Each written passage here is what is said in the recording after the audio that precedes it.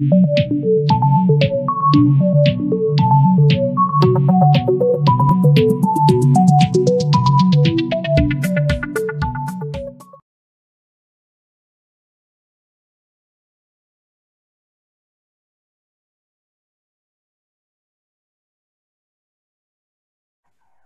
is that we were able to to connect to people that we wouldn't have previously done, like Thabang sitting in Franschhoek, and um, we have people from Sedgefield and etc. So I'd like to ask people to, in the chat function, tell us where you are, um, and to just give you a very warm welcome to another one of our OD talks. Uh, Worldsview Academy is very passionate about creating a community of people who are passionate about everything OD and to bring these people together, to learn together, to talk together, to debate.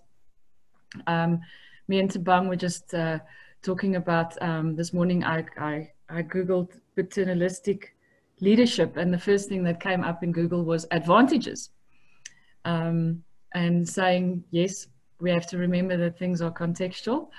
Um, we certainly explore different leadership styles in all the leadership development work that we do um, even starting with, with junior new managers up to senior executive teams. It's a very important concept. So, so Bang, we're honored to have you with us this morning. Thank you so much for, for making the time.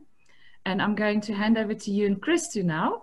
Uh, I want to just invite everybody throughout to, if you have any questions, please put it in the chat function and between me and Christo, we'll keep an eye on, on the chat function and just uh, make sure that we raise those questions. Thanks, guys. Thank you, Liesl. Good morning, everyone. Uh, please forgive the uh, the alarm going off somewhere in my neighborhood. My neighbor has got the most paranoid Joburg alarm. like a whole series of of different sounds and noises that it uh, Thabang, uh, thank you very much for joining us this morning. Um, it's a pleasure. Thank you very much indeed. Yeah, and good morning to listeners and participants. I've been uh, I've been following you around on Twitter, uh, as as I follow around a lot of people that I find interesting. Yes. And, uh, what what struck me uh, about you and, and why I enjoyed following you and also why I wanted to invite you to to to our early talk this morning mm-hmm. um, is your unrelenting engagement with questions of leadership in South Africa, and and those are not just questions of leadership in uh, well, there are questions of leadership in government, and and we know that we have have severe questions of leadership in government all across government but also uh, questions of leadership in the corporate sector in South Africa. And uh, you are the author of two books. The first book, Fit for Purpose, uh, that has received uh, some, some very interesting and, and very positive reviews about the need to bring back a sense of purpose in organizational le leadership and in organizations themselves and then the book that is, it's coming out next month, right? Um, the Unending Struggle for Relevance, uh, which is which is about contextual leadership and the need for leadership to be contextual. Now, I want to say to, to all our guests this morning is um, you can order both those books, uh, and I'm going to put the details for all of that right in a moment, I'm going to put it in the chat box. Uh, and you will see there's, you can pre-order the new book of Thabang, The Unending Struggle for Relevance, uh, at the pre-order price. And there's also a coupon that you can use when you order this that gives you even a further discount on this book. I, I do believe that Thabang, this work is incredibly important because to a massive extent, our notions of leadership is Western. It comes from the North and it comes from the USA. Uh, and it comes with a very specific historical baggage. And, and to, to a large extent, because our corporate world and our organizational world has, has borrowed so much from the West or is in a way, shaped in the image of the West, uh, it's it sometimes you have a sense that something is imposed and there must be alternatives. There must be different ways and and and i must confess my own ignorance uh, about different ways. I know um, people like Reuel Khoza has written a book about ubuntu and uh, and and there is a there is writing in this domain. I I hope that as, as we go into, into this crazy decade that we have been embarking upon, that the literature and the writing and the thinking about leadership ways and approaches to leadership and thinking about leadership, uh, that it will become more and more being led by people like yourself. So to, to get us into the conversation this morning is this conversation about patriarchal or paternalistic leadership uh, and uh, its limits, its ends. Um, and I'm going to, to hand over to you to, to lead us into the conversation. And as Liesl said, uh, if you have questions, please pop them into the chat function. And uh, Thabang is going to introduce us to the thinking, uh, take us through some key ideas, and then we're going to open the conversation and uh, you can ask uh, questions and, and see where this conversation takes us. Well, thank you very much, uh, uh, Christo. First of all, you know, uh, let me say how honored I am indeed to be speaking to your distinguished guests and, uh, and, and, and, colleagues. Um, the topic, I'm sure, must be, you know, generating some, some questions and interest from a number of people. You know, why, patri you know, why paternalistic? You know, and uh, uh, why do we really talk about it especially and not any other uh, as something that we should be really bothered about in the 21st century, perhaps in the South African setting.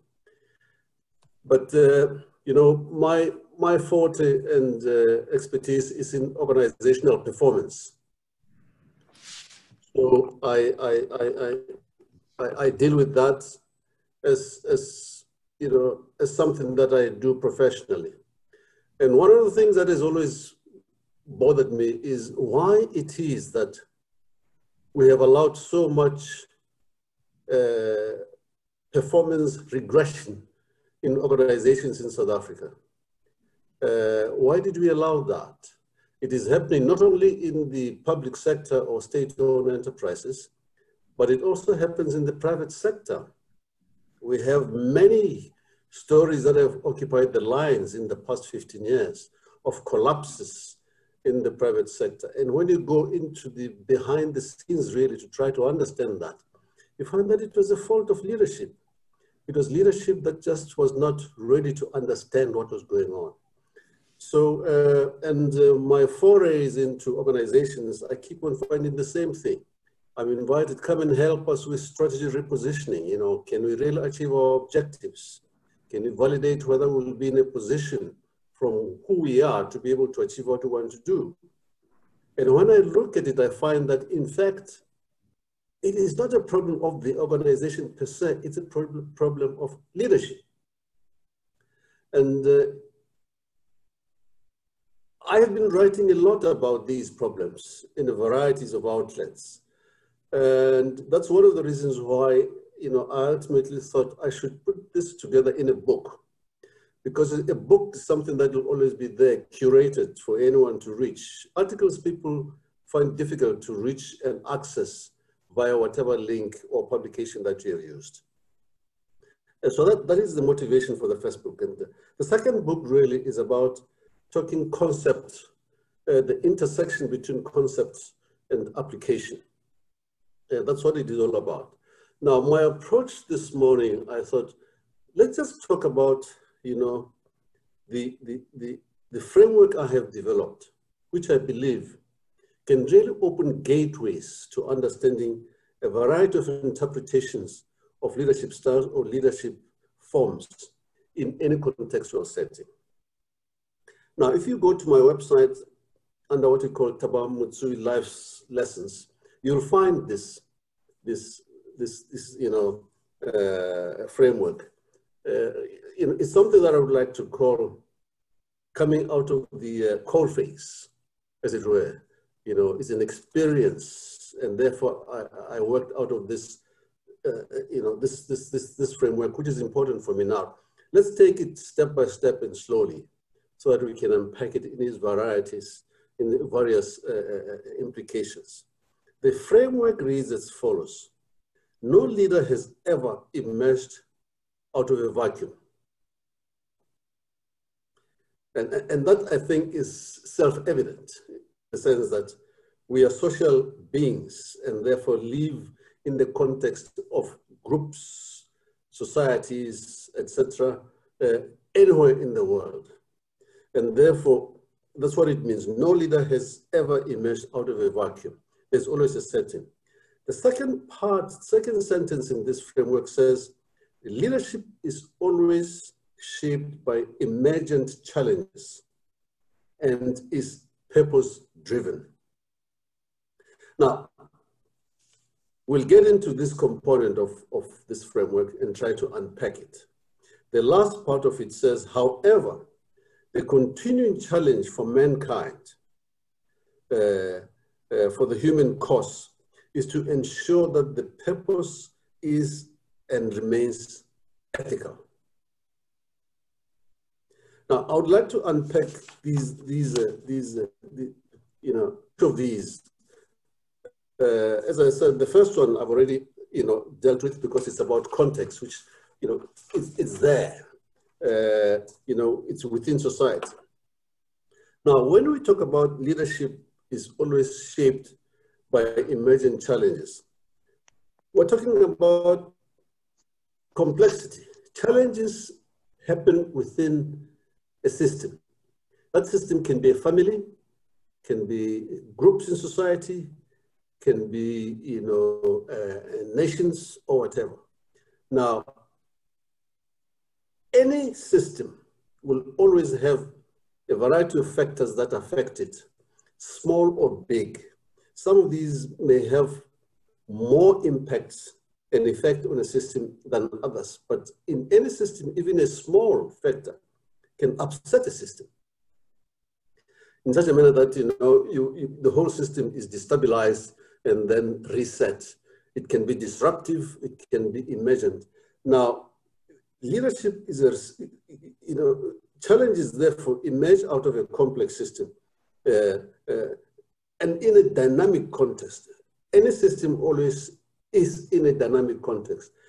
Uh, our societies, the country South Africa is within an African context. The African context is within, is within the global context. There are things that outside that come in and affect, and we have no control over them. We, we have a very painful understanding of that now uh, through the, you know, the coronavirus. So that is the essence of a system that gets transformed by factors that are sometimes beyond your control, but at times within your control. So basically then, leadership, what I'm saying is that it's always a response to these challenges. It doesn't matter whether you're talking about leadership for a soccer club or a group of uh, academics or, or whatever. You'll always be responding to challenges. Uh, otherwise, it would be difficult to imagine a society that does not have needlings and uh, discomforts. Uh, it's always peaceful. Even in the monarchies, uh, in the Roman Catholic Church, everywhere else, you have these disturbances. That's why you always have what we call sessions for meditation and quiet, so that you are there to go and reflect and see how you can reflect, you know, resolve these issues that disturb the peace in such a manner that people will learn from it. So, so leadership is always a response. And uh, you will see in, in, in the book, you know, that's, that, that's something that comes very special, uh, you know, under leadership, because they were trying to show indigenous leadership. Uh, I'm trying to, to show indigenous leadership that responded to a situation. You know, Moshoeshoe did not just come out of, out of a vacuum. Uh, his father, you know, made sure that he goes into what he called leadership coaching to prepare him for a, a future, which he, the father couldn't predict. But those were the times of the, the wars of, of expansion, the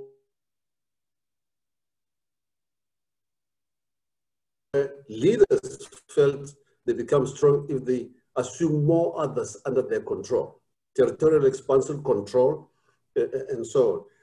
So, so, so you emerge out of that situation. Uh, Mandela also, you know, was responding to a situation. When he decided he's going to focus on national unity, you know, it was because he realized if we don't focus on that, it may disturb everything else. So it is a response. Uh, and all of them are always responding. Policy in government is about a response to social issues. Now, all social formations are complex systems, as I have said, you know, uh, and so, and they form a basis, therefore, from which leaders actually, you know, emerge. Now,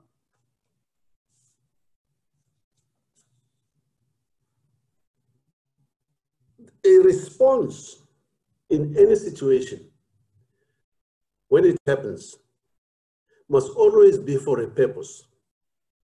You don't just respond and say, look, you know, oh, there's a challenge, I'm going in. Why? Why are you going to that challenge? Why are you trying to solve that challenge? What is the purpose? What for? It is the motivation behind it that makes you decide that I'm going to do this and that and that and the other. Now, the, the question becomes then, what type of leader do you pick or choose at a particular time for a particular challenge?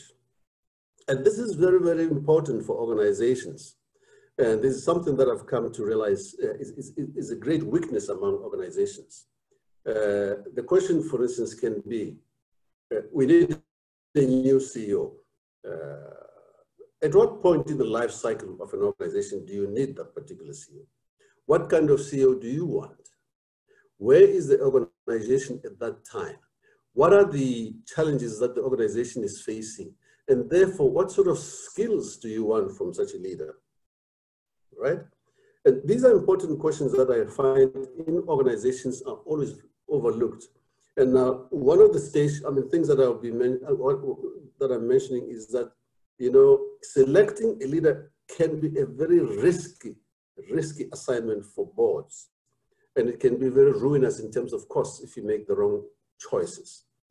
Therefore, you have to be very careful to understand the state of organizational development at which you want a particular type of leader. And you have to ensure that you get the right type of uh, you know, professional advice in terms of testing all the applicants to ensure that they exhibit the sort of qualities uh, and skills of leadership that you require. Now, uh, leadership style really, it's, it's a pattern or a set of attitudes that leaders hold, uh, you know, and, and the behaviors that, that leaders, you know, exhibit. It's as simple as that. So from this statement, therefore, one can come to the conclusion that uh, a leadership style is a product of context and culture. So, so, so culture has a very great influence in terms of shaping the style and the attitude of a leader uh, and so is context. Which now takes us into, you know, interesting leadership paradigms uh, when you think about it from that perspective. Because now you, you, you, you, you, you, you begin to, to see that if indeed, as it is proven now, that culture is also a special determinant of leadership style, then why should you go and learn about the American uh, aggressive leadership style in order to come and manage situations in South Africa or Botswana or any other place? Are we not victims really of the American hegemony? You know, in trying to understand how organizations are, are run. And remember, America or the US was formulated on a very highly competitive environments. Competition drove behavior. And therefore, success in winning is, is a culture. Now, in the African context, you have a different approach. You have what you call Ubuntu, you know, uh, concern for the others. Uh, how do you manage that? And this is why now in my title, I talk about the special case of South Africa, because South Africa presents a fascinating case, uh, you know, in the types of leadership challenges uh, and experiments that we, we, we are facing. And I'll talk about that uh, because it is, it is really at the heart of this discussion. But you see, the way I'm trying to bring that about is that we should talk conceptually and then move on to application. Now, the, the, if you look into the history of human beings, since the beginning of times, when human beings started organizing themselves into families, into groups, into societies, into communities, etc. The biggest danger in those contexts was competition for space with other living entities like animals. Uh, the distinguishing thing is that we have the brains to decide where we want to go and how to manage our environments. They only act on the basis of impulse. If I see you, then I have to eat you. And this is something that we have been doing as societies ever. We've been trying to protect the environment in which we are, to create comfort uh, in order to improve our lifestyles and grow. And uh, for some reason, you know, the creator decided to provide man or the male species with more physical strength and therefore assumed that role of protecting the family, which was composed of wife, children, and society from all these dangers that we've always been faced with from time immemorial, since the beginning of time. Now, the male species, therefore, has always been protective. That's where the patriarchy comes in. That's where the paternalistic thing comes in. Now, if you look into the development of societies then over time, from pre, uh, from the medieval, the pre-medieval, the Egyptian time, the Greek times, the, you know, the, the Roman uh, times, you find the growth of male expressionism in control of the environment, right? Uh, the wars of uh, domination, territorial expansion, etc. They're all about, you know, expanding the control, expanding the society, the group, nations, etc., were, uh, you know, uh, put under control of others that were totally unrelated to them. That's what the Romans did. They had a huge empire. That's why that's the beginning of the empire. And it is all about extraction and control and so on. And the people that were up front in doing all these things are the male species. Okay? And in those days and throughout time, if you are a student of history, you'll know that the most admired person was the one who really exhibited tough qualities in leadership style. We hero worship such people. And uh, this is where it becomes very interesting from a leadership point of view. Uh, because what has been changing over time is that contexts have changed. And the driving force for change has always been technology and the speed of information or communication, you know. That has been the driving motive for change. Now, the only thing that has happened faster in the past 10 decades, or in the first century or so, has always been the speed of information. In the last five decades, we've seen the fastest ever, you know, speed of information exposed to us. And this has been extremely disruptive. And so societies have been disrupted from their comfort zones because of intrusion of other ideas, uh, other cultural understandings of situations that may conflict with the situation where, for instance, for instance, people have migrated to, etc., and so on. That is the reality of the world as we have it. Now, the danger to the patriarchal type of leadership of command and control is precisely the speed of information. Because what it does, it, it, it, it, provides people with alternative sources of knowledge, all right? And when you have an alternative source of knowledge, you don't necessarily have to be beholden to the one who is who has to be having uh, a superior, you know, physical power of force over you. That is a, a, a, a very interesting part. Now, let me just move quickly into the situation of South Africa. And this is where I find this exceptionally interesting. Uh, in the sense that the lives, the leadership style of command and control is generally understood globally.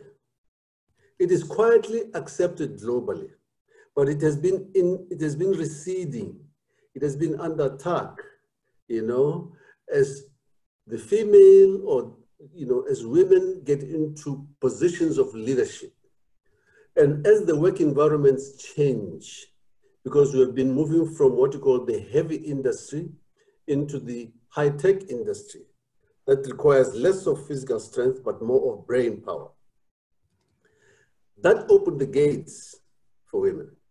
So basically, you know, the interesting thing about this understanding the study of leadership is that the male species actually has been pretty naughty for hundreds and hundreds of centuries, you know, in the sense that they, they assumed the franchise for themselves mm. in the churches uh, all over the place and uh, uh, slowly opened the, the valves for women to come in when it suited them, all right? So, so, so, so this is why you find resistance to this change. In the South African case, what you see is a, a, a situation where something that is not evil, or, or but you may call ubiquitous globally, which is command and control, was then used in the South African situation as part of what you call command, dominant command and control of one race over the other. So the command and control, you know, got meshed into the apartheid state, into the mechanism, into the way the apartheid state control the environment. If you look into recent research, I'll just, uh, you know, I'll name the, the guy who did his PhD on the role of the church in the Broederbond and how the Afrikaner managed uh, to make such a success of the Afrikaner BE, Afrikaner Economic Empowerment, uh, AEE, is that the church played a very significant role. The Broederbond played a very significant role. You have what you call a monoculture, all right? Uh, a very conservative monoculture uh, with Calvinistic, uh, you know, uh, overhang over it. In that situation, it is easy to mold people in a particular mode of thinking, right? Uh, obedience is part of the culture of the Afrikaner, right? Command and control is part of the understanding. Now, I've had to study that, I've had to understand that, and uh, fortunately, you know, even though I left South Africa when I was uh, in 1962, uh, but, uh, you know, and came back only in 1994, I've interacted and uh, learned and understood the Afrikaner culture.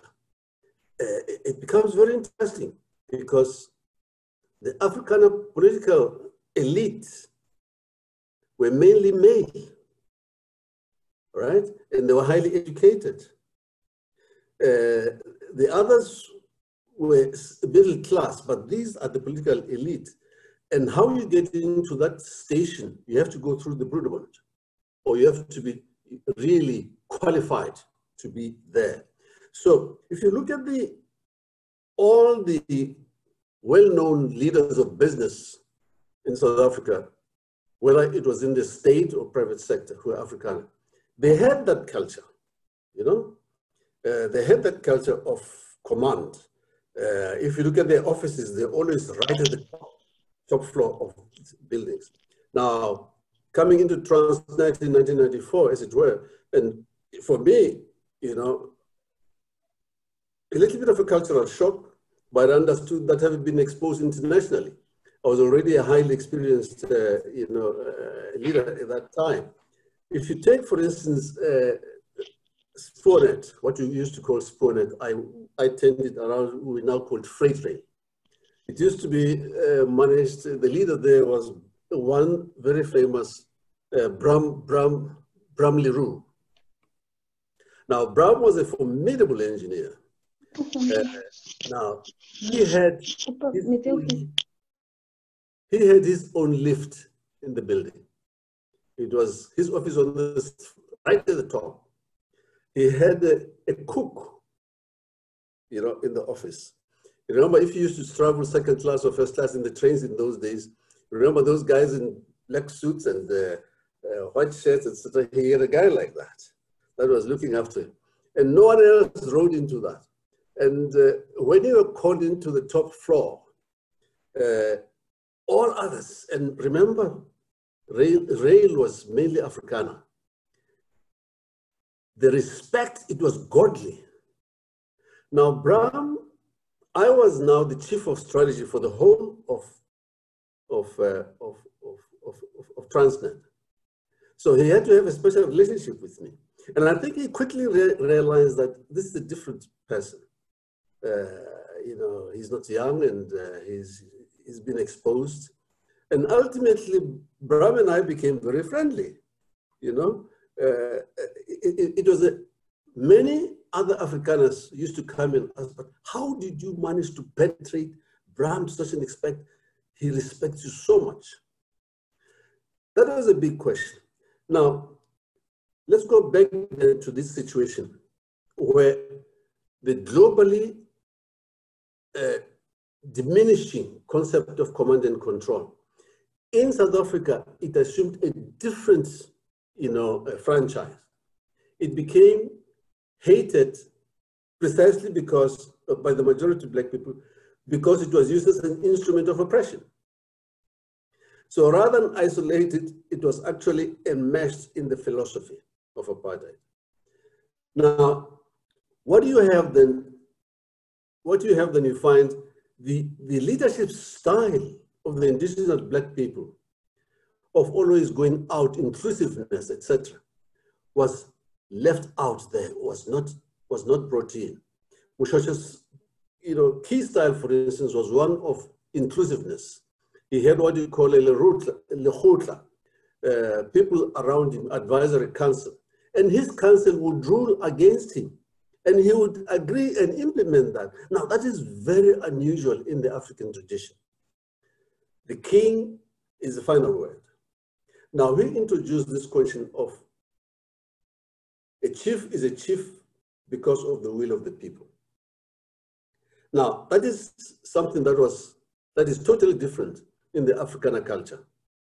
Now, when we went through the transition, you have a situation where uh, the, the, the arms of the state or the state entities were run for a particular purpose, were conceived for a particular purpose. The Afrikaner was clear about that. Uh, in this PhD research, you know, this is precisely what this guy was researching about. I'll get the name before we go. And, uh, and, and they achieved their objectives. But post in the democratic stage, we have never really defined what these entities are. And this has been my, my discussion in my first book, and even in my second book. What are they there for? What is the purpose of each of these. Because when you have defined that, you are in a position now to say, then what type of leadership do we need for these? The experience we have had so far, I think everybody understands that from all sectors, is that we have undergone a regression of state system, a regression of the state-owned entities for the past 15 years. If you look at Eskom, for instance, you'll find that there's been something like 10 uh, chief executives in 10 years or 12 years. Uh, the boards have changed as quickly as a new minister comes into position. And the composition of the board had nothing to do with the entity which they were supposed to oversee in terms of qualification. Now, this is what the problem is, because you see, if we say that uh, leadership style is a product of culture and context, then South Africa is in a fluid state. Because first, black people rejected command and control. And the white didn't understand inclusiveness and Ubuntu. We're all trying now to find out what is, what is, the, more, what is the more acceptable, reflective uh, uh, system of leadership and style that we need to put in place. The last 15 years in the SOEs, for, for example, shows you that we have been battling and failed abysmally. If you go to the private sector, you have examples again there. Just for instance, you know, Steinhoff. Uh, you you need to, to, to know the person and understand the person to see what happened. Just is a very, very dictatorial kind of character, uh, you know, very suited for command and control. So it was his word or nothing. Even the board, he was able to marshal and mobilize the board whichever direction that he wanted to, even though they may dis, you know, disagree, some of them. But basically, he managed to, to, to, to manipulate them, therefore, into a position that was going to work for him. Now, there are many examples like that in the private sector. Uh, uh, for instance, if you take, if you take Edgars, for instance, the sorry state of the decline of Edgars, it is because it was totally, totally unaware of what was happening around itself, even though it had an external uh, manager, you know, who was recruited to come and turn the thing around. You can bring as many examples as, as you can, uh, but that is a story that I try to bring up in the book, that context and culture determines or determine leadership attitudes and style. And therefore, when you want to re refresh your leadership in any organization, you have to be in a position to say, where are we in the life cycle of this organization? What do we want to achieve next? What type of leadership style do we want or will suit or be able to give us the solutions that we desire as the board and as the rest of the organization? Then how do we identify such a leader? Because you must remember, in the context of the South African labor law regime and jurisprudence, if you make a mistake there, it is going to be very costly for you to reverse it and correct it. In the US, it's pretty easy. You just call a board meeting and you fire the guy and he's gone. So the word fire is a European, or sorry, it's an American term. In South Africa, it's a different thing altogether. It's like in Germany, you don't, it's not easy to, or Belgium, it's not easy to just get rid of people. In France, it's extremely difficult. That's why it takes such a long time to fill a position in, in France, like it does happen in South Africa, because you want to be absolutely careful, you know, otherwise you get laden with a burden that you can't remove from your shoulders. So, what am I saying then? What I'm saying is that we are in a flux situation. And uh, it is the essence of what I'm trying to, to, to put together now. This will be for book three. Uh, how do we really uh, understand the situation we are in and therefore decide carefully what type of leadership we want? This question is suitable applies also to the political side. You know, what type of leader do you get or to choose? What are the metrics for that?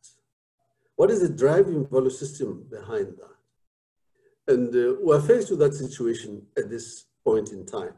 And we're struggling to really understand how to select. And we're struggling because the two ideologies, not ideologies, paradigms are at conflict.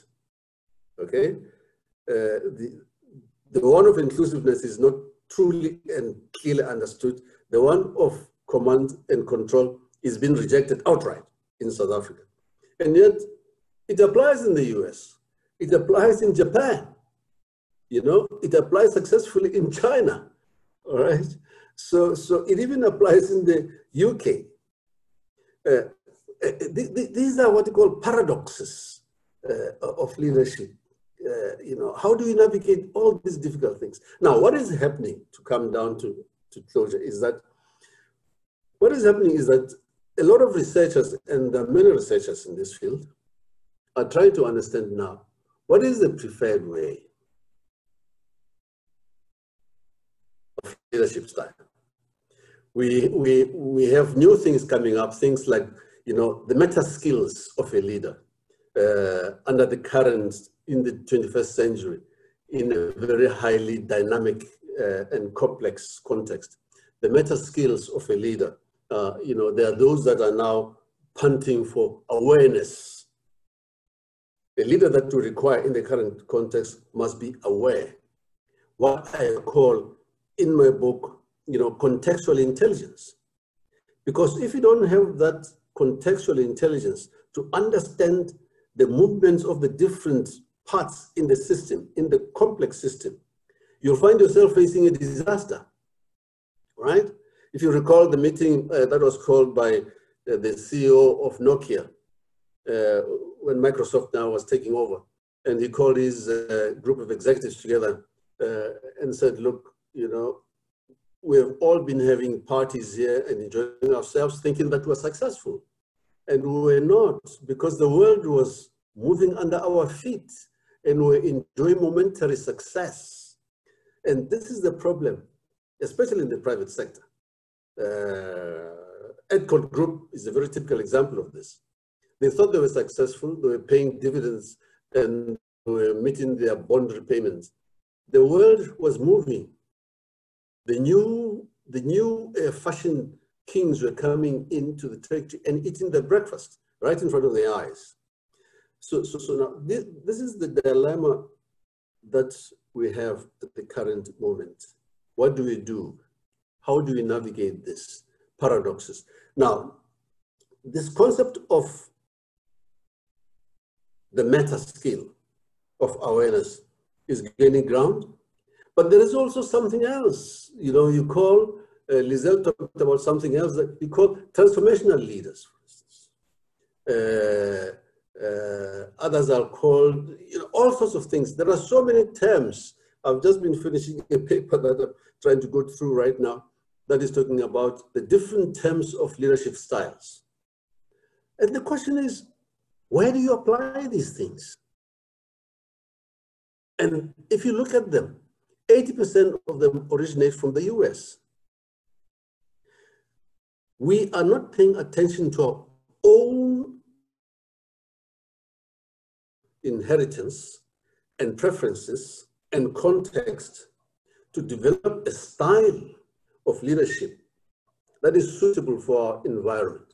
And I dare say South Africa is a typical example where we have to find a way of doing this effectively so that we can, when we talk about identifying an effective leader, we have identified these driving points. That's what I'm trying to work on now. What are these driving points in the South African scenario that are so important to each one of our different cultures that we have to take into account in transform leader. For instance, if you have a, a question like, uh, you know, we need a new vice chancellor for Stellenbosch or whatever university. What type of qualities are you looking for? In an environment where that university has changed so much, what are you looking for there? Can a professor of philosophy be a good administrator of Stellenbosch? Can a professor of psychology become a very good administrator of UCT or even University of Western Cape or University of Johannesburg? What I'm saying is that there have been serious shifts in context because what you're seeing in these entities is a huge migration into the universities by people that were not there previously, who are now in the majority who come from different parts with different cultures and cultural values. How then do you make uh, the, the, the, how do you run such spaces in order to give sufficient spaces for each of these to develop themselves successfully? I was involved in trying to, and you'll find this chapter in, in my new book, uh, one of the universities, uh, 2010, I think it was. And, and, it is very, very interesting if you look at the university, uh, the, the, the, the, university next to uh, the Vaal University of Technology, right? Sorry, sorry about that. Located in a highly engineering environment, Sasol, yeah, ArcelorMittal, and so on, engines, trains, everything around there. You would expect, therefore, that such a university should produce uh, great engineers, you know, highly skilled engineers, and so on. But then when I asked them a simple question, what are the requirements of the industries around you? And when did you test for these? I couldn't get it we had to do our own investigation into the requirements of these industries and match those against the offerings of the university. So, so what I'm trying to show and point is that the selection of vice chancellor is not as easy and as, as we think it could be. Do you need, what do you mean, when you say vice, I mean, the head of the university vice chancellor must have contextual intelligence of the entity that she or he is going to answer. Who is that person? If they don't come from the Vaal area. Who is that person if you're going to be the Western Cape, University of Western Cape Vice Chancellor, when you hardly understand what has been happening in the Western Cape or the Northwest? I'm not saying these are criteria for exclusion, but they are criteria for careful consideration if you want to get that vice chancellor to succeed. So context, uh, culture play a very important part in determining the outlook of a leader. In a highly dynamic and continually dynamic, complex society. So the West, the University of Western Cape is totally different from the Vaal University of Technology, nor nor even the Northwest University, because they are within different contexts. So this is my thesis, and uh, you know I'll welcome any discussion on this, and I hope uh, I've been understood. Uh, you know, there is nothing absolutely correct about this, uh, and uh, I'm learning as much as all of us are learning, and uh, it would be a great pleasure to get feedback from any one of you guys. We'll see how this book will turn out in about two to three years uh, that I'm working on, except that I have to fight, you know, to make sure that I stay young in the process. Thank you, Lizelle and uh, Christo. I await uh, engagement. Thank you, Thabang. That, that is fascinating, and I think you you raise so many uh, so many points that provide direction for for lots of exploration early in the early in your um, in your talk, you you referred to male and female styles and and the, the, the rise of the paternalistic or the patriarchal, and I think there's a there's a huge line of exploration there, and especially uh, you know as we see the COVID response in uh, the COVID response in across the world and uh, quite a few people have, made a point of pointing out that the countries that are doing well are led by women. Mm-hmm. Now, I don't know if that's a direct correlation, etc., but there's there's something to be explored there. There's there's something different yes. happening there. Um, yes. And your your your really intriguing point about the South African situation, contextually, historically, uh, and the and the two major styles uh, that we have both somehow lost, uh, or you know, the command and control style because of its association and, and its use in South Africa. And then um, curious for me why, why, why we have not managed to, to find uh, a South African style and, and, and and again, as I said at the beginning, um, you know, pleading my own ignorance or confessing to my own ignorance is, um, is that so many of us working in this field are, are still working with European models or uh, Western models. And we don't know enough about what could possibly be uh, what emerges here in our context. And of course, as you mentioned, it needs to be emer emerging.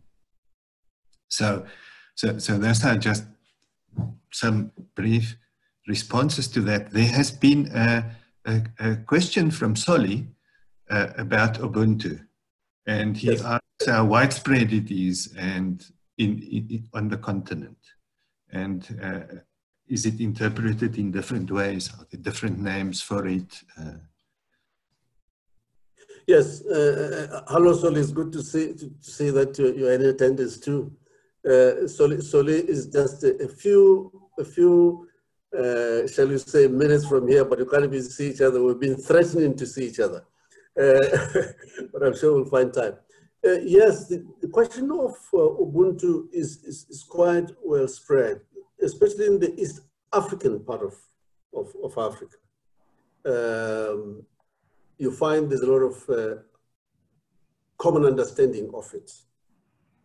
And it comes from the African communalism type of uh, structure of, society. Uh, but, you know, to what extent it is being used in, in state governance or even in uh, the governance of organizations is something that I think is more researched or being researched in South Africa than many other places. Mm. And uh, for a simple reason that uh, in South Africa, the, the, the, the transition has been so uh, disruptive and driven by such divergent interests that we're all struggling to, to try to find exactly, you know, what is the best way. This is the reason why in my book, I, I've tried to expose another way. Uh, and uh, that is the the way Moshoeshoe try to deal with this question. What can we learn from there? Uh, there's nothing prescriptive. What can we learn from there? Uh, but I think we are on the road towards that in South Africa in the sense that this thing of consultation is there, except I, I would like to believe that currently we are overdoing it in the sense that uh, instead of decisions being taken, everything is to goes into consensus building. Uh, uh, which I believe is a, is a luxury that you may not be able to enjoy at this point in time when we are at a juncture where we require difficult decisions to be taken. But that's my short answer, Suli. Uh, and um, uh, you know, I, I, would like to open myself to to supplement information on that. Christina, uh, I, I, see you have um, raised a question um, that you have not uh, um, completed. Uh, would you like to speak and ask your question?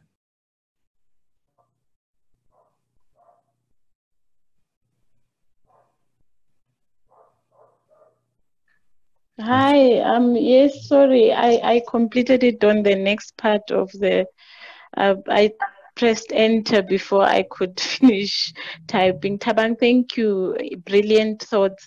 Just the, on the point of leadership and vulnerability, I think um, I pick up that as leaders, we tend to be uh, to deny ourselves to be out there, and um, I see it as an impediment in terms of leadership in my space. And I'm not sure what is your view in that regard. Very important and uh, current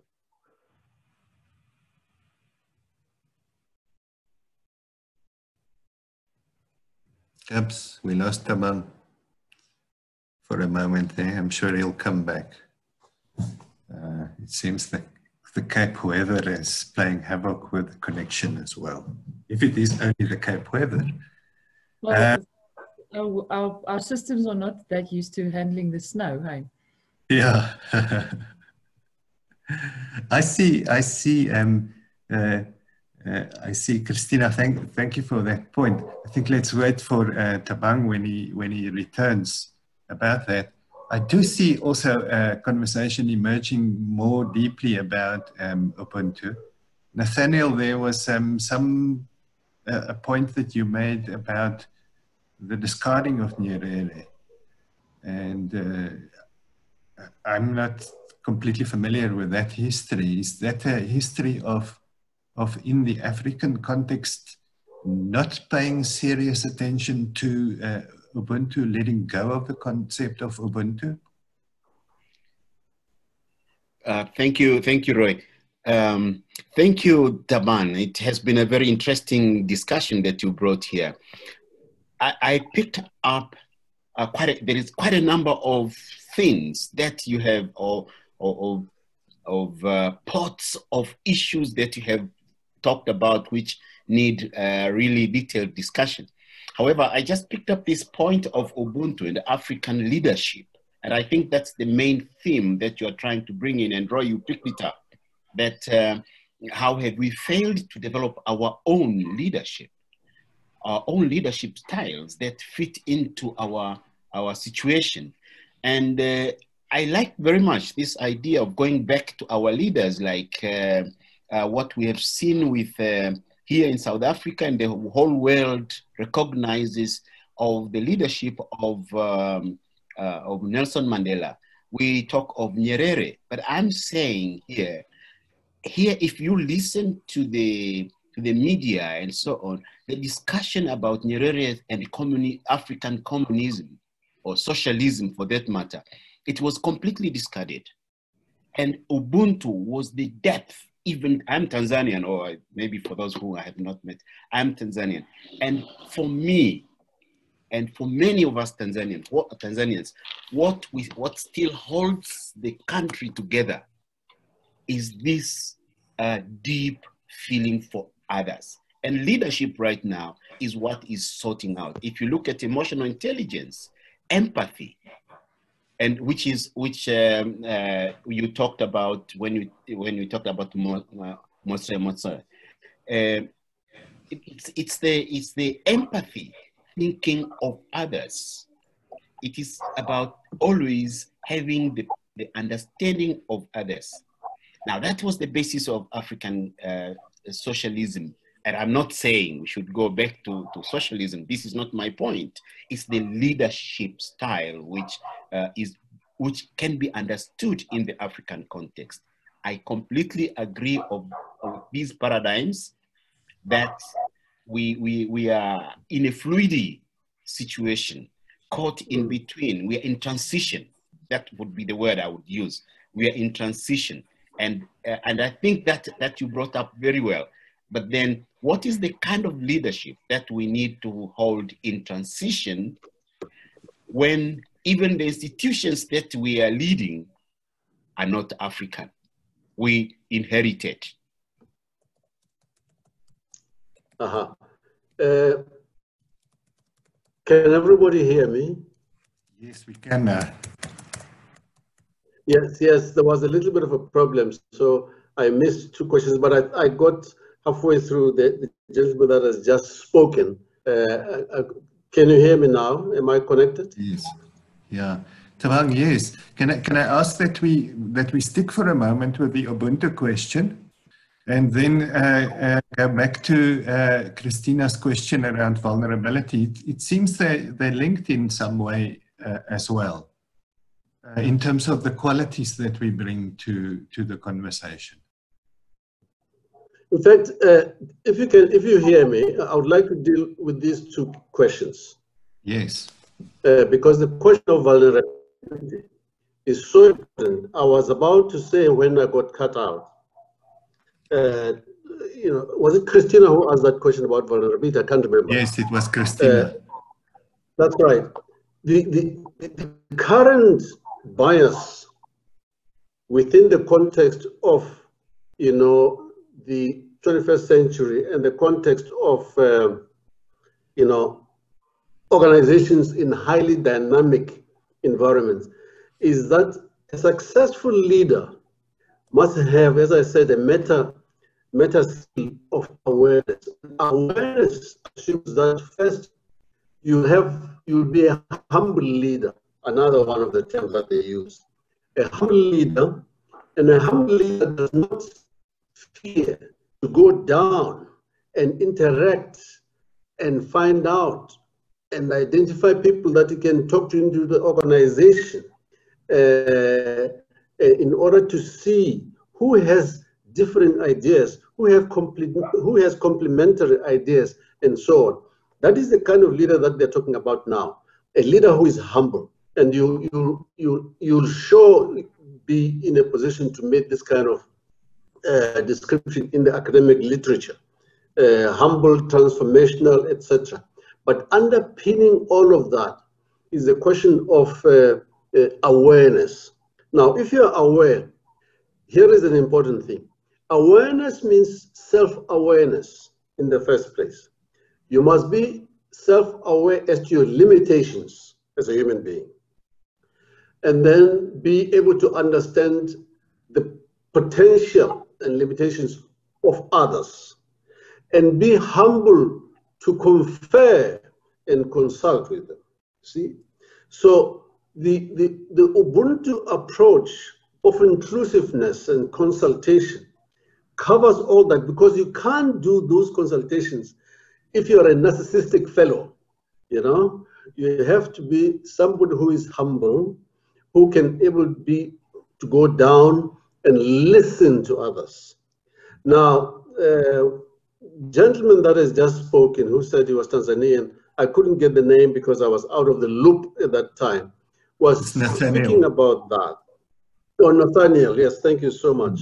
Uh, was speaking about that, and yes, indeed, this is what I'm trying to, to, to, to, to promote now. I'm saying, uh, let's be sensitive to these external instruments that we use to manage organizations. Be sure that the leaders that we choose are those that understand our contextual issues here. Now, this is the space that I'm doing a lot of work on with organizations, you know, uh, determining and understanding where they are, what type of leader they want. As to what they do after that, no, no, I'm not involved. I mean, that's that's that's what you call recruiting. Organize, I mean, uh, uh, uh, uh you know, organizations do the the, the Spencers and and so on and so on. but I find the danger, the danger lies in understanding exactly where the company is, what the nature of the business of the company is, and therefore what type of uh, uh, you know leader it wants. In the new book, you know the the the the the, the, the, unending struggle for relevance. I talk sharply about that, especially chapter one, and I urge people to please navigate through chapter one carefully, because it really shows you that unless you understand the organization the discipline that is required, it will be difficult for you to choose the right type of leader who has to be there. So, so, so, so I'm trying to anchor it there because that is the foundation of success to be able to appoint. And by the way, when you have made these appointments, unlike in the past, leaders don't find themselves spending two decades in the position of leadership in organizations. You are there for a short purpose, short period and purpose, five, ten years, and you must be out. Because how can you be in an organization for more than that time in a leadership position, in a context which is dynamic, changing, and facing so many different threats that are changing themselves and that require new knowledge to understand those threats, to understand the demands of the customers, the changing demands of the customers, even the demands of the stakeholders and employees. No brain can do all of these alone. So you have to think about how do you strengthen that leader? Uh, do you put one or two people to support the leader? If you really think that is such a special person. The danger we have always had is that the single-minded approach to leadership in South Africa, which is a peculiarity of command and control, has led to dangerous decisions. Steinhoff is one of them. Okay? Because you have dominant character there who did everything, decided on everything. And you find the same thing in many, I'm just using Steinhoff as an example. There are many others like that. Uh, in Eskom, it was exactly the same thing, you know? So, so SAA, exactly the same thing. So I'm saying uh, uh, Transnet, typically, which I know very closely, uh, because I've even worked with them very recently. So you find that type of approach, and I'm saying it is a dangerous approach. Okay, Thabang, there's, uh, um, uh, I think what you say ties in there. You need to take the dustbin out for me. uh, I think uh, what you said ties in beautifully with a quote that, uh, that Ingrid posted from Professor Robert, Robert Sobukwe that says true leadership demands complete subjugation of self, honesty and integrity, uprightness of character, courage and fearlessness, and above all, a consuming love for one's people. Absolutely. Yeah. Absolutely. Um, uh, I want to go on to another comment from from Ingrid, but uh, Kobus also um, uh, Kobus mentioned uh, situational leadership, and uh, and then the yes. Raises the question if there's perhaps a need for a little bit of balance, bringing back command in command and control in spaces where it may be lacking. Kobus and I, I think specifically in spaces uh, you would probably say where, where it's lacking. Uh, I guess in other command and control spaces, the opposite is true, that the opposite is like that, that a more inclusive uh, leadership style is lacking.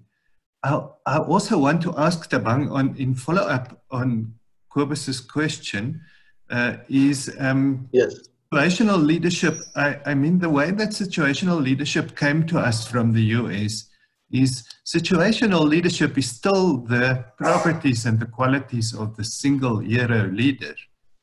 Uh, it is uh, rather than it is rather than it is the different complete different possibilities of different kinds of leadership and leaders for different situations. I mean, yes. in a way with situational leadership we still expect the same leader to be different pers- different to show up in different ways in the different contexts.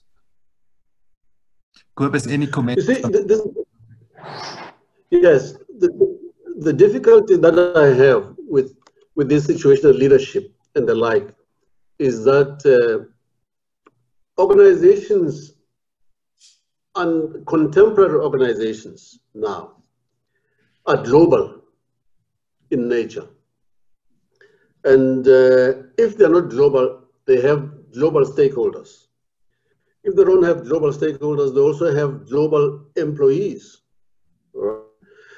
Now, how do you how do you then apply that situational situational leadership in a situation in an instance like this where you're dealing with people all over the world? Now, if you read about the SAB story, mm. Adam, in the US when he moved over there after they bought out the American company. It's a fabulous story that I would like to, to, to suggest you access when you go to ft dot uh, ft transformation or something like that. A. Sure, sorry.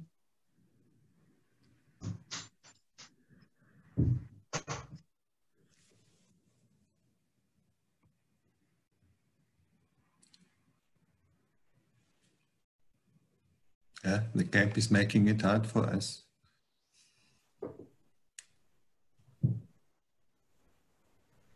Times. Uh, read about the the of really uh, understand cultural preferences and biases in shaping of organizations have Uh, no, no, we have indeed lost uh, Thabang for a yeah yeah yeah yeah I can see yeah but I can see you now. I Ah, there you are, now. Thabang. We we missed uh, we we missed probably the last minute or so of what you said. Yeah, yeah, yeah. What, what, what I was saying is that organizations, contemporary organizations, uh, you may find that within an organization, you have a subsidiary, which is global, under an organization which is indigenous. Hmm.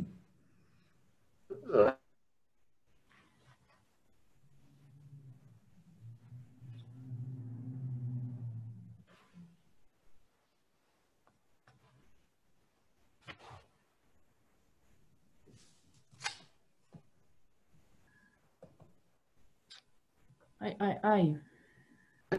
There's a little bit of a freeze. I can see your picture's frozen a little. Did you? I can see Lizelle. I'm not so sure whether. Can you can see hear me? you Lizelle? now. We can hear you now. Yes. You can hear me now. So I hope I covered that uh, question. A little bit of a freeze. I can see your picture's frozen a little. Because that's what we're dealing with. I can see Lizelle. I hope I covered that uh, beginning to disappear. Lizelle, are you with me? You're back now, but it was a, a lot of scrambled um, words for a little while. Yeah. yeah. But uh, let me try again. What I'm trying to say is that many companies now, what you might call indigenous companies, may have subsidiaries which are global. And that brings into question the type of leadership that you have to engage to manage such situations. It is not easy. It's not. It's not easy. Um, Thabang, there's a um, there's a provocative point from Ingrid. Uh, Ingrid, I don't know if you want to speak. Okay. Uh, are you still there? Yes, there you are, Ingrid. Uh, around um, the concept of Ubuntu getting hijacked, Yeah, it, often by sort of like a, a certain kind of white. white no, groups. no, I, I can, I can you, I can hear you, I can hear you when you get cut. Yeah. What is the provocative question from Ingrid? Ingrid, you want to speak to it? Um, thank you so much. I'm loving what you're saying. Um, what what I've noticed in some of the work that I've done and uh, speaking to critical race theorists, um, I don't know if you know Nyasha Mboti, I don't know if you know uh, Jade Goodwin, some people doing some interesting um, work. And in my conversations, these are some of the things that I'm hearing and seeing. So the concept of Ubuntu, and along with that, a similar kind of rainbow nation, everyone is lovely and we all love each other, um, has been hijacked by quite a regressive um, ideology, which is let's just forget the past and take what we like that is comfortable to us. And there's almost a kind of historical erasure that goes with it and um, a denialism. So in the gender space it would be oh you so angry woman. Get over it. Women have equality now and you're being divisive.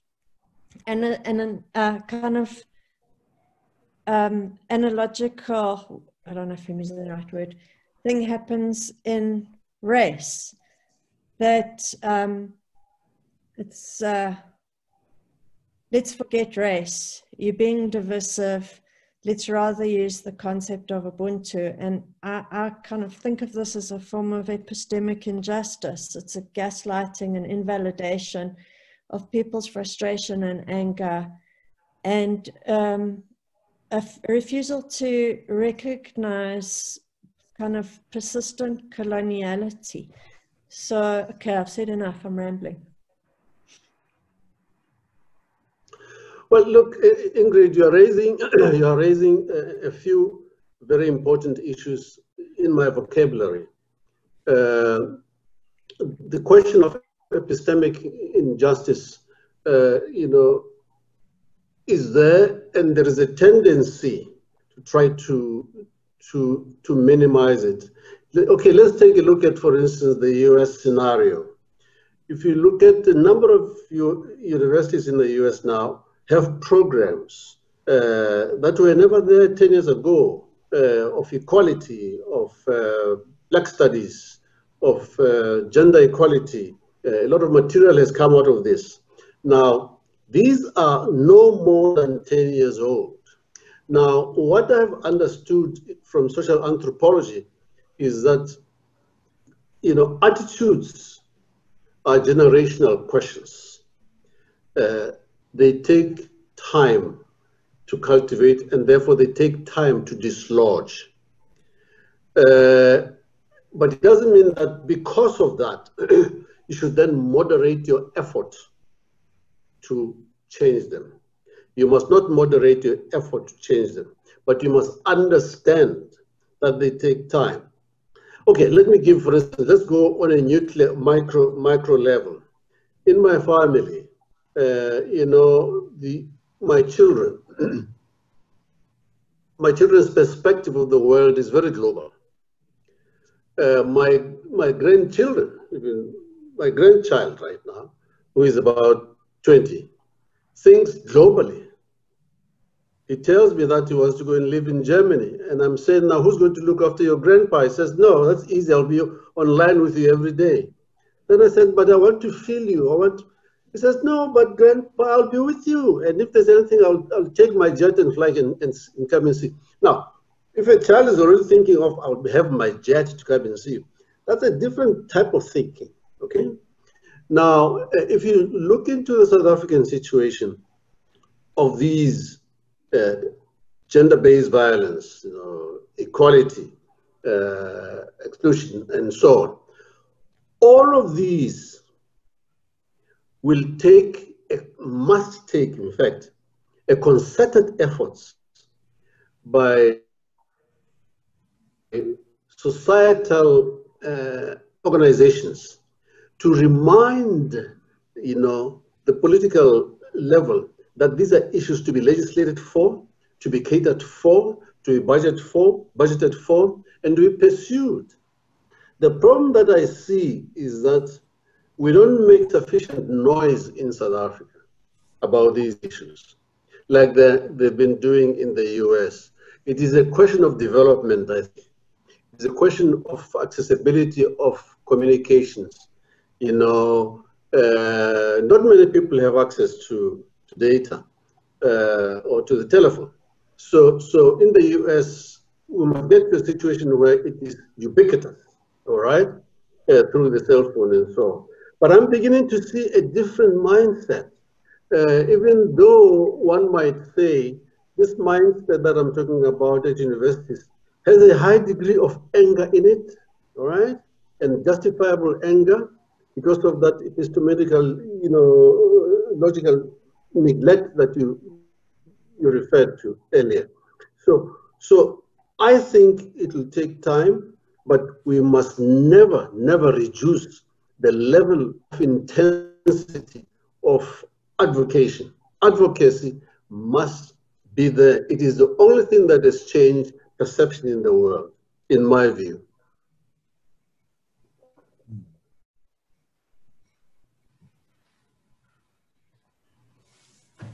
Thank you, Thabang.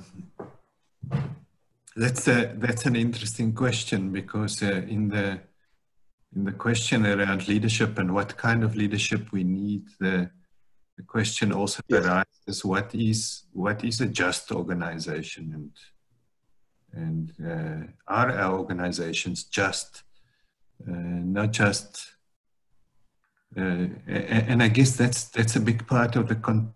If you speak about the way we need a, a kind of leadership to emerge that can actually deal with this as our context is a context of of injustice uh, and structural legacies. You're raising, you're raising another another important question, and uh, it, there is a there is a chapter that deals with that uh, in a way in one of the uh, test cases that I'm talking about in the book. But the the leader that I'm saying is big, emerging to be the preferred leader, the leader who of broad awareness, the leader with level of contextual intelligence, the leader who is humble and who will be able to go into the levels of the organization and start with people. It is that type of leader then who will be able to be sensitive to structural injustice within the organization as well as beyond. One of the problems that I've seen uh, with many organizations is that you'll find uh, where you have groups that do work like gangs, you know, installations and so on.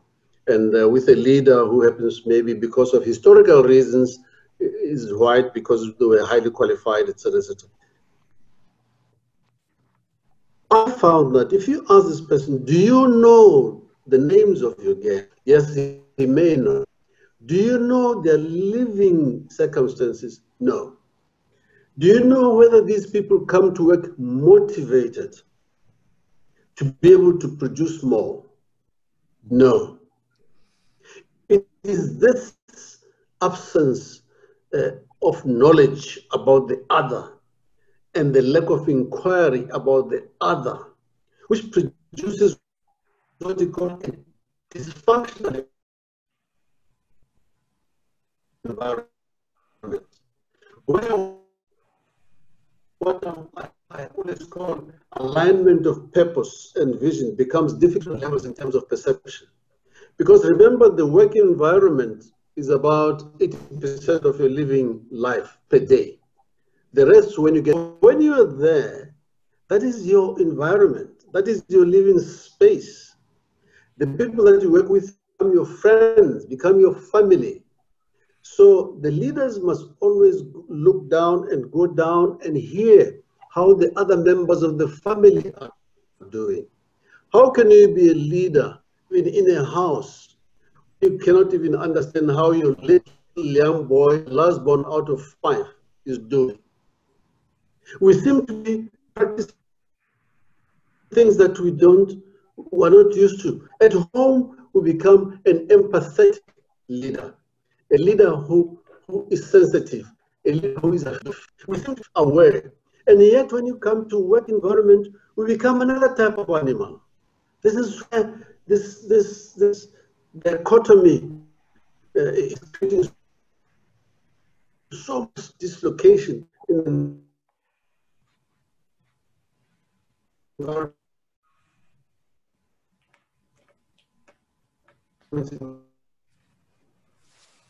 is the growth now. South Africa, in my view, this is thing is going.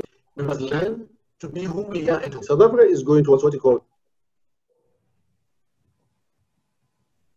empathetic leadership. Leadership that is, I think this is a word, transformational leadership, consultative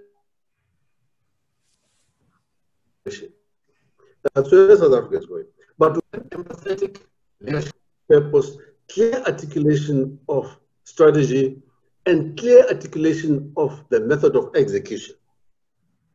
When you have those things clarified, we must learn to be arrogant within the limits. This is the growth now. South Africa leadership, leadership, but within parameters, everything becomes difficult. The difficulty we have, for instance, in the state-owned entities, is that purpose clarification of purpose all over the place. Uh, strategy for execution all over the place. In that sort of setting, you find all these, you know, uh, disrupting uh, things, uh, uh, you know, confrontations with the trade unions, etc. When in fact, the trade unions should be operating on the same paradigm as the trade unions in Germany, working together to achieve organizational objectives.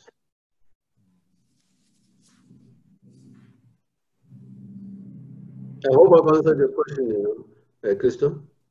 I think we've we've missed some of it. There was an interesting piece that that sounded specifically uh, intriguing, and that that is where you spoke about the moment in in South Africa where we go.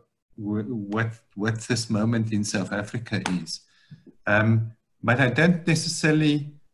Uh, I, I, think Thabang, it, it does it does answer the question uh, it, it almost brings us back to this question of the paternalistic paradigm, the paradigm of domination, and the paradigm of control, and the and that that is in itself, in a way, it seems a paradigm that is bound to lose its greater purpose. The purpose gets diminished to control, domination for the sake of domination, winning for the sake of winning. Uh, and it is, it, it, uh, in, in a way, this style, this paternalistic style is a style that has become disconnected from our humanity.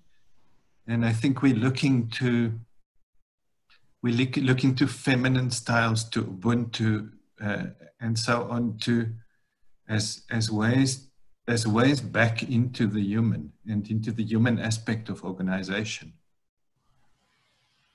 Yes, you see, the, the, the, the you're raising a, a, very important important part, uh, Christo, in the sense that we we're in a very fluid situation. We're in a very fluid situation, and we're trying to find out exactly where the logical center should be, so that we can then move together. It will take time, but uh, more effort has to be made to try to understand the essential elements from the different perceptions of societies so that we can move together. Uh, we must not think that one part of society will come with answers. We must be more inclusive, pick up the dominant themes and go with them. This is this is this is the you know, the challenge, I think, that we have at the present moment.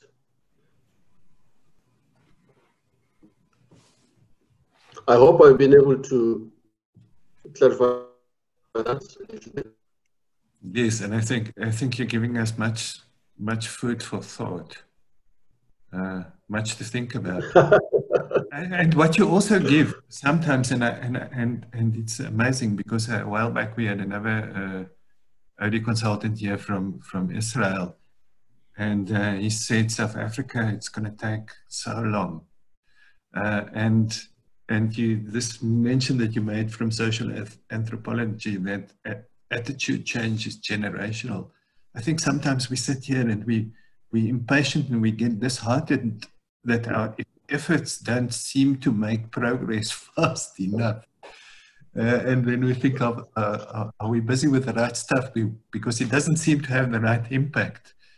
Uh, and uh, and it's, a, it's, it's important to be reminded that in some way we are working on the right stuff. We must persevere here. It's going to take a long time.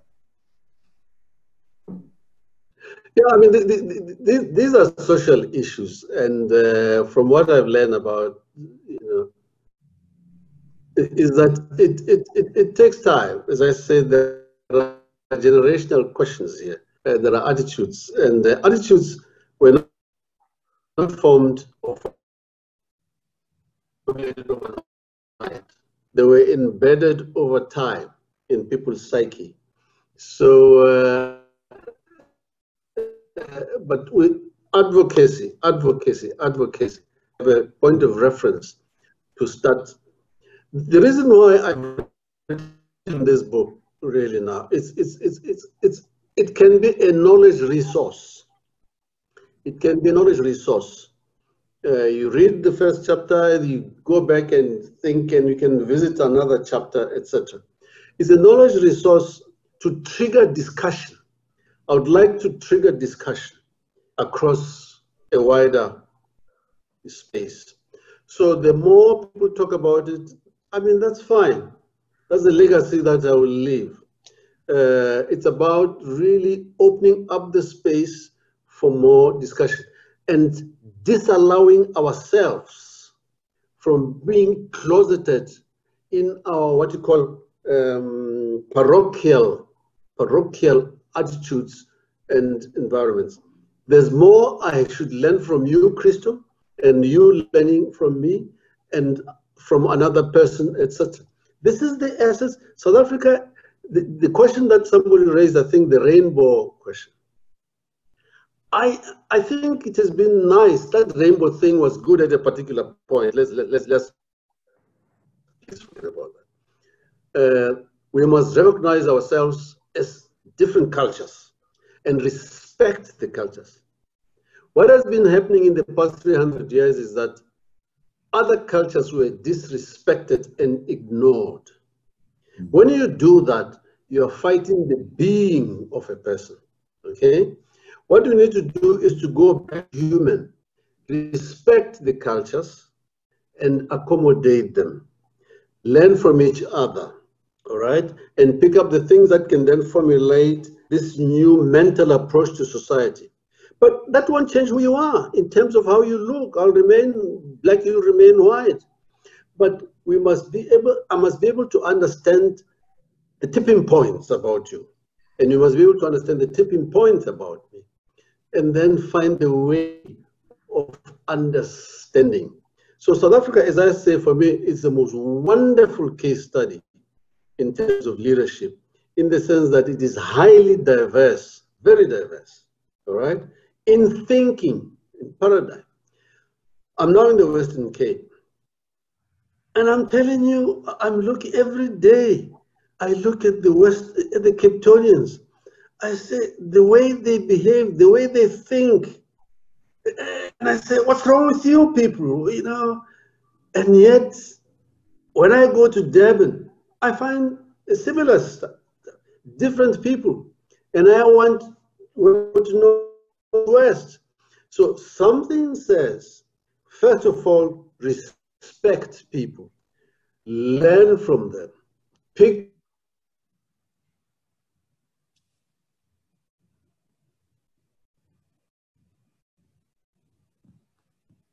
be, let it be, and strengthen it as much as possible. All right? And this is something that has been missing and we're struggling. We have, we're in a flux in terms of leadership style. We're trying to find out exactly what is the best way of doing it. But somewhere there, that's why I said if you look at the leadership lessons from church, you will find something to take from that may help us build a society that we would like to be. Okay. Thank you, Thabang. Nathaniel, you want to uh, just speak about the comments that you just made about what, how? Uh...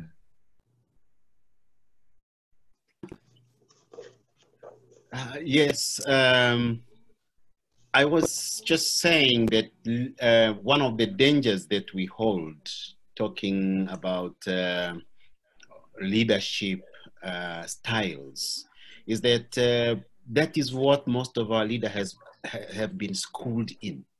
They have been trained a lot. They will recite them like uh, the, the, Lord's Prayer. But exactly. the basic thing of understanding who am I, where am I, what is my leadership, where do I want to where do I want to go, starting mm. from within myself and making mm. that shift in myself first before I start looking at anybody else. That is where the crux of the matter is. And maybe for us, um, when um, when I listened to you, especially in these discussions, I, I, I admit that I haven't read your book. I'm promising to to buy and read.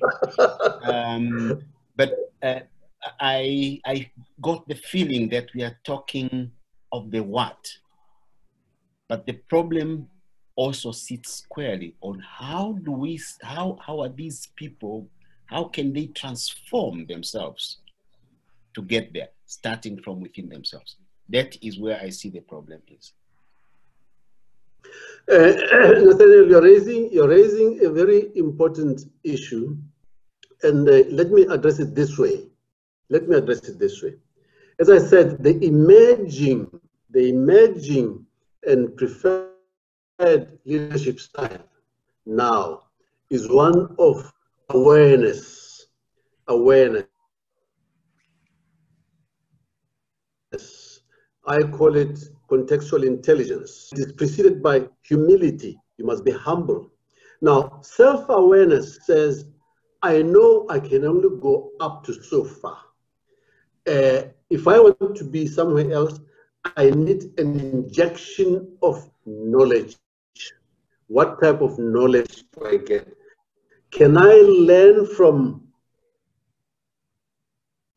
guy who's working the same floor with me? Can I learn from someone downstairs, etc.? This is the essence of it. The essence is that self-awareness, the insight as you talk, and then awareness. One of the things that was published last week, by the way, is about uh, the success or the critical importance of meditation in developing desirable leadership meditation to set off and consult yourself and try to understand yourself, open up to others. So, as I say, the fraternity of leadership thinking is coming with all sorts of things. But I do agree, meditation is one of those. It's a must. It sort of makes you to be a calm person a person who has can now be in a position to listen, to listen, to listen to others.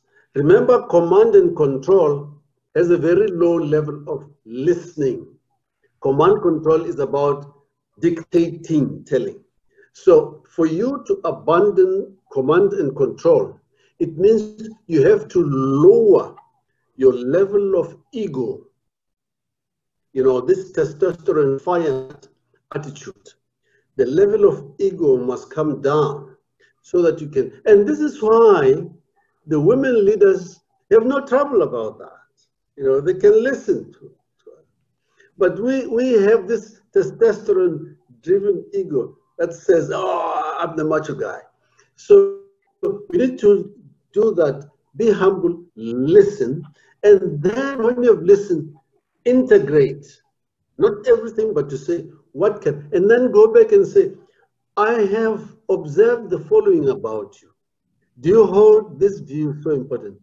Do you hold this feeling so important? How can we take that now and drive a unity of purpose? Because the whole thing about organizations is about unity of purpose. Because if you don't have an alignment of purpose, you cannot achieve organizational objectives and vision. And this is my teaching. My teaching is that the, the, the point of fit for purpose mean, means alignment at all those levels. You can't do it if you're a narcissistic person, if you are ego driven, if you don't listen, if you are impatient, you can't do it. You have to have all those things. This is why the, the new way of thinking they are calling it awareness as a meta skill. I'm calling it contextual intelligence. Uh, others will say, but you must also have empathy, right? You must have sensitivity. What's the difference between sensitivity and awareness? That's another thing, you know. Uh, for me, you're talking about the same thing. Empathy. Empathy means understanding the other party and uh, trying to get into the shoes of the other person. Because, as I said, at the work situation, we all come from different directions. I don't know the shoes you're walking on until I can ask. I hope I've clarified, amplified your, your good point. Absolutely good point. Thank you. I think uh, the, the, Eddie, the comment that you made uh, around our psychology uh, ties in very much into this. The the how how our inner psychology or our inner drives, our inner fears, our inner needs for safety and control, how in some cases it predisposes us to patriarchal uh, leadership. I'm, I'm always thinking of that studies that they did in the US where they saw that uh, people like in the presidential campaigns, they like the more human leader, but they tend to vote for the bully uh, in many cases. There's, uh, there's often that, that sort of thing that happens, especially when the crisis deepens. People uh, seem to revert to the alpha dog style, uh, and uh, and and I'm interested in the way that that you know self awareness is is the work that we need to do to become aware of how we are driven by by drives, needs, patterns, etc., etc. Uh, the things that keep us from entering into the shoes of the other. Yes. Uh, you know, the, the, the thing about entering the shoes of the other that I've discovered is that is one of fear, uh, suspicion, and so on. You know, because we were so disjointed, it is difficult to try to understand how it is to walk in the shoes of the other. That's why I call it a generational issue. And the best way to do it is through workshopping at, in the business environment under different topics so that you can gradually mold a team that is empathetic of each other's situations and then can then be aligned. I've seen that in actual practice, you know, in the, you know, company that I write about in the book, it is quite there. So, so if you read that story there, you'll see it coming out. Uh, you need to do it at the workplace over time, you know, once a month, etc., over time. And then these things begin to come up. You will see people's attitude changing. You begin to see people taking off their own working environments and working towards the objectives that have all been agreed have to be achieved. But I think fear is the is the thing because of the separation, you know, that has been there. And that's the great cultural work that that that we face in organizations. Absolutely. Ingrid, uh, you wrote quite a long comment there. Um, I'm wondering, are you saying that advocacy is good, but we need action too? No. My question is, you spoke about um, a level of intensity a little bit earlier, and that was when I wrote that comment, is, you know, continuing advocacy and intensity around that. And um, at that point in the conversation, we were talking about also, you know, this question of more empathic leadership and demanding it, both nationally, more accountable uh, leadership as well, demanding it nationally and in our organizations. And just you know, my observation over a long time is, is the weakening of civil society and the disempowering of those voices. And I just wonder what your perspective is on that, on the kind of organization of the left and civil society in demanding more empathic leadership, more accountable leadership, more pro-poor leadership. I think I think I think into a, a space that I'm very very uh, sensitive about, uh, in the sense that you'll find it throughout my book. I'm very sensitive about that. My point of departure is the following that a political party must necessarily, in this very, very uh, South African context, perhaps in other contexts as well,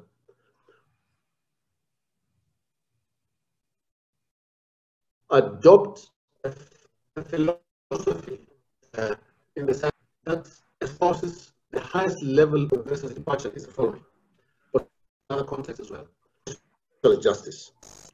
There is no need to appropriate that for themselves. It's a general philosophical thing.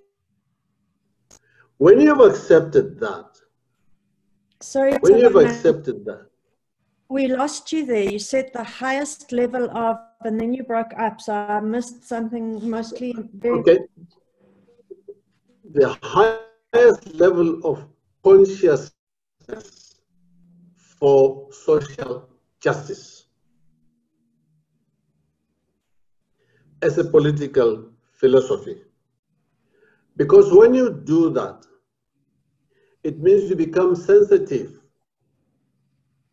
in all cases to the conditions of the less privileged and the poor.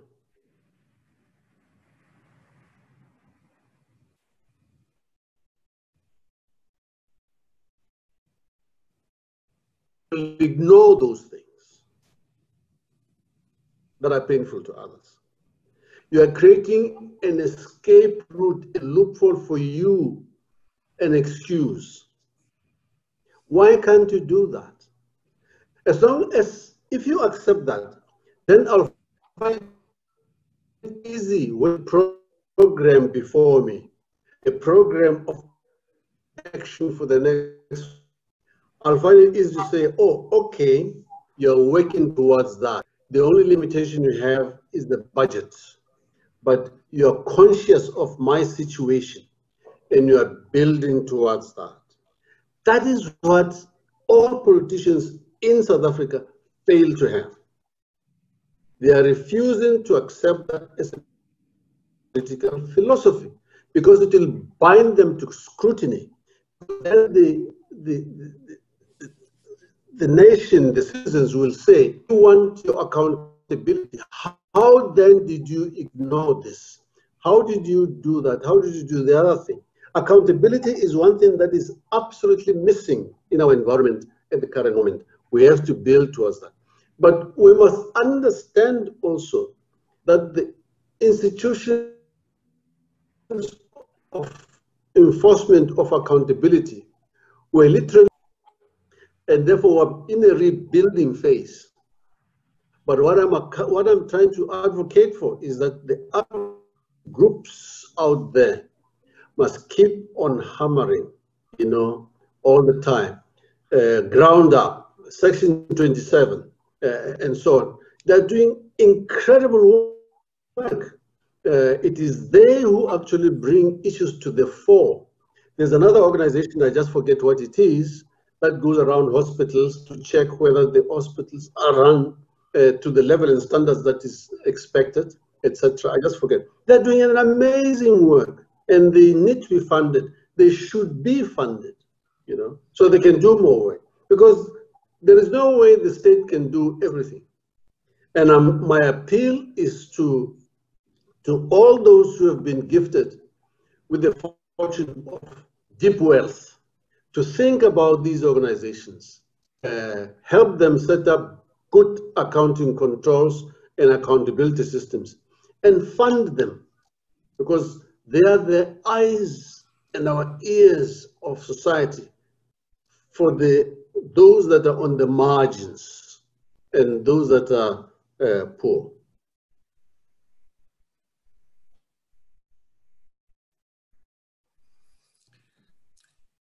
Thank you, Thabang.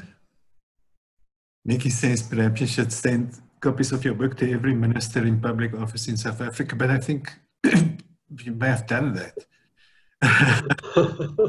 now they must read it. and I think. Yeah, uh, I, hope they do. I hope they read it at least. At least. Yeah. Well, and so and so will we. I look forward to reading both books. I I I think we've come to we've come to the end of our two hours. I want to thank you so much for uh, for uh, for what you brought here today, your wisdom, uh, your deep experience, and your your deep humanity, your deep care for for for organizations, for leadership, but above all, eventually, finally, for people. Uh, we, we, we feel really fortunate, grateful that we can have a voice like yours in our space. And I hope that we can continue this conversation. There's much, much to continue to have a conversation about so that we can so that we can continue to do this work. Thank you very much. Thank you so much, Christo. I really would like to, to send my deep appreciation to your to your participants, to your colleagues. It has been a very enlightening engagement. Uh, I'm not tired, as you can see. Uh, you know, I, I, was prepared emotionally. I'm going to have my breakfast, but I feel, uh, uh you know, it's been an enriching engagement. And please ask all these influential people to read the book. It's as simple as that. It is not for my, you know, it is for it is for the people of South Africa. Let them read the book, and uh, let's let's make sure that more people read the book. It is the only way we're going to to try. That's my contribution to change. A little contribution, a very little one. Uh, there are others with more ideas, more powerful ideas. But thank you very much, and all the best to all of you. Thank you, Tom. Thank you so much. Your breakfast. Thanks so much. And I hope you. you stay warm. no. it's sunshine outside today, sunshine, clearly. Ah, good. Yeah. I'm going for, I think I'm going for a walk with my wife now to go and download what I've learned from all of you. Thank you. Great. Yeah. Cheers. Bye-bye. Bye-bye. Bye-bye. Thanks, Thabang. Thank you, everyone, for joining. Mm, nice comments. Mm, very nice comments. Matlasi, are you still here?